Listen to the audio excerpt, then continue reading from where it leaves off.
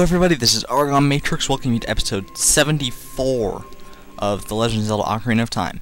And I guess this is going to be my first video that extends beyond 11 minutes. What do you know, that's awesome. I love the new time limit, it gives me so much more time to just do random crap. Anyways, so, um, yeah, let's just get into it here. Um, I was thinking between, like, after the last video of what I could do other than, um, uh, other than progress the story, so like before I progress the story, and there's really nothing. There's no side quests, um, I don't think there's any Skulltulas I can get. Oh, hey, opponent. Uh, but I can check that. Let's just see here. Uh, Fortress and Gerudo's Valley, I haven't been there yet, so there's still Skulltulas to clear there. Lake Hylia's done, Lon Lon Ranch, Market, Hyrule Field, Death Mountain, Kakariko Village, Lost Woods, Kokiri Forest, and Zora's Domain. There is one there that I can... Yeah, I think there's only one left there that I... And I can't get it yet. And we have 78 total. Awesome. Alright, so we're just going to leave Epona there, because the trip over here isn't too bad. Yep.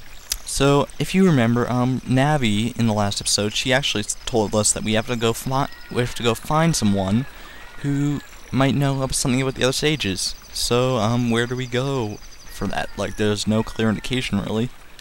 But you're supposed to go to Kakariko Village. I guess that's just because that there's a lot of people there and stuff, and there might be some information that we can find. So let's go. Oh, Navi, you shut up. Oh my God! What? It's a fire! It's a fire! It's a fiery, flaming, flaming fire! Oh my God! What's that? What's happening? The House of Skulltula is on fire! No!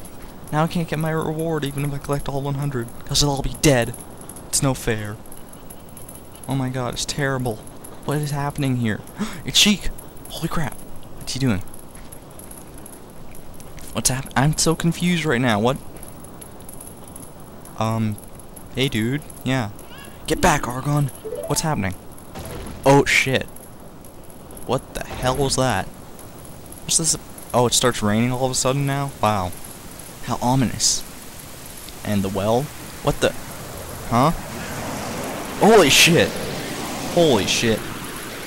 it's toss it's tossing Sheik around like a that's so hilarious, but still awful at the same time.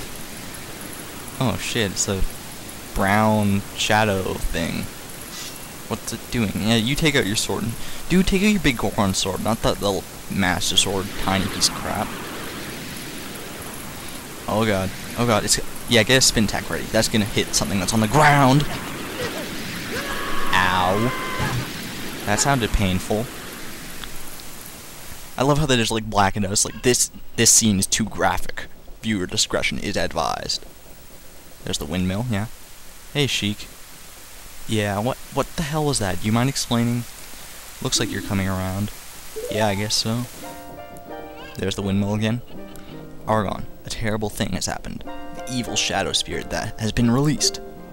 Impa, the leader of Kakariko, Kakariko village, has sealed the evil shadow spirit in the bottom of the well but the force of the evil spirit got so strong, the seal of the well broke, and it escaped into the world. Double exclamation points. I believe Impa has gone to the Shadow Temple to seal it again, but she will be in danger without any help.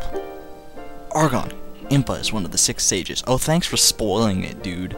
Destroy the evil Shadow Spirit and save Impa! There is an entrance to the Shadow Temple beneath the graveyard behind this village. Well, how do I get there? What the hell? The only thing I can do for you is teach you the melody that will lead you to the Shadow Temple. Sweet. This melody that will draw you into the infinite darkness that absorbs even time.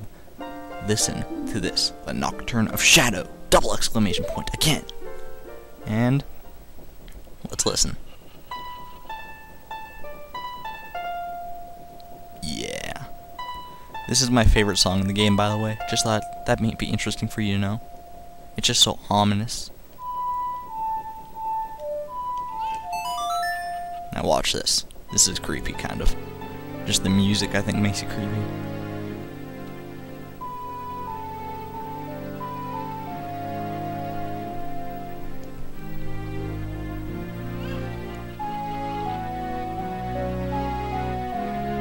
There's the windmill again. Hi.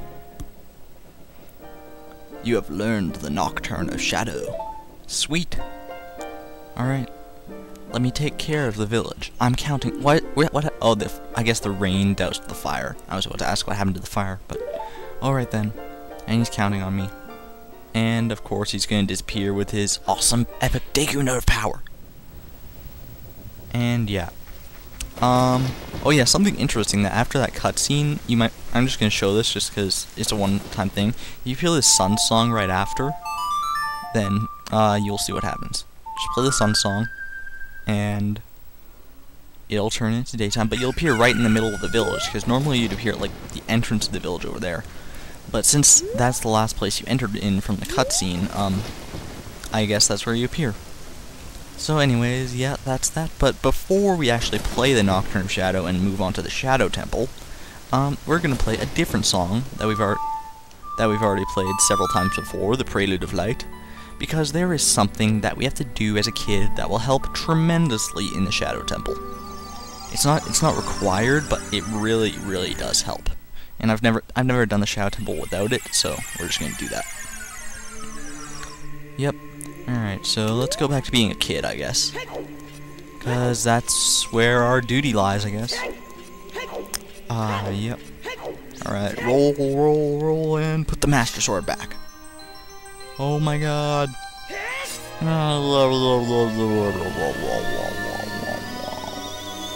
That's the sound of Link returning to being a kid if you didn't know. Duh. Alright, so now we have to go to Kakariko Village, and actually the fastest way to Kakariko Village is uh, the new song that we learned, the Nocturne Shadow. Oh, I, I failed that. There we go. Yeah, because this warps us to the graveyard, which is the closest place that we can warp to to reach Kakariko, so now we don't really have to walk there anymore.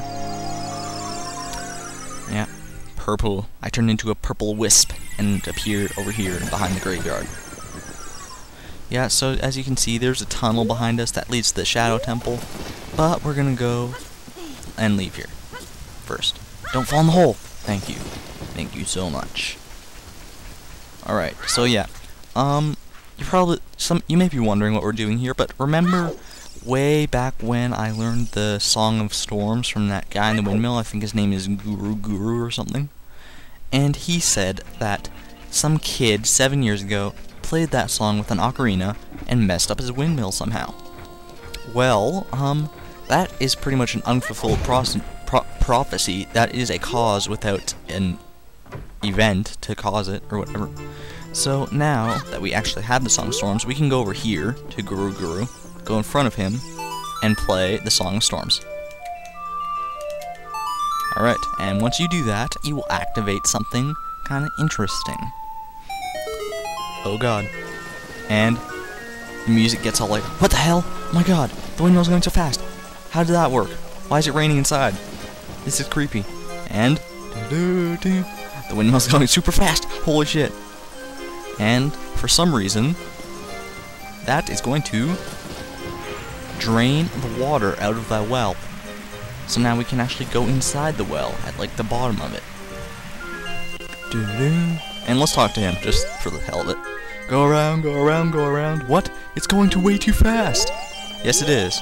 See, you can't even, like, walk against it. You, so you, I'm just gonna take it around here and leave. So that's kind of a funny scene. I like the Sheik ragdoll scene that we saw earlier in this video, yeah.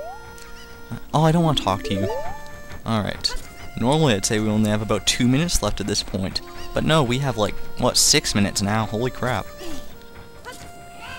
That's weird.